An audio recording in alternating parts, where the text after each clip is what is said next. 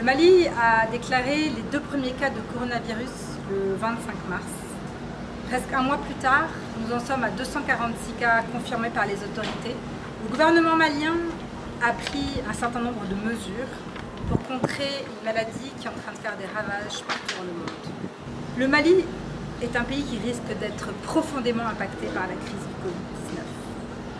Sixième pays le plus pauvre du monde, le Mali a plus de 50% de sa population, soit 10 millions d'habitants, qui vivent avec moins de 1 dollar par jour.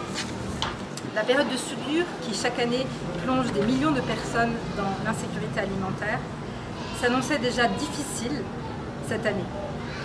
Avec la crise du Covid, qui s'accompagne de difficultés d'approvisionnement, de rupture de stock et d'une hausse des prix, le nombre de personnes qui ne sera pas en mesure d'avoir accès à un bol alimentaire satisfaisant va encore augmenter.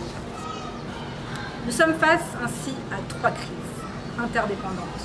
La crise sanitaire, la crise sécuritaire et la crise alimentaire, dont les effets peuvent être additionnels. Solidarité internationale, ainsi que de nombreuses autres ONG, s'est mobilisée pour venir en aide à la population malienne. Nous avons repensé nos programmes afin de participer à la réponse au Covid.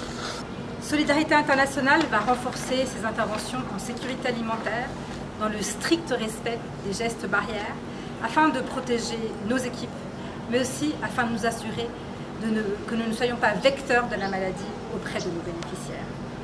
La première réponse à la souffrance humaine reste la solidarité.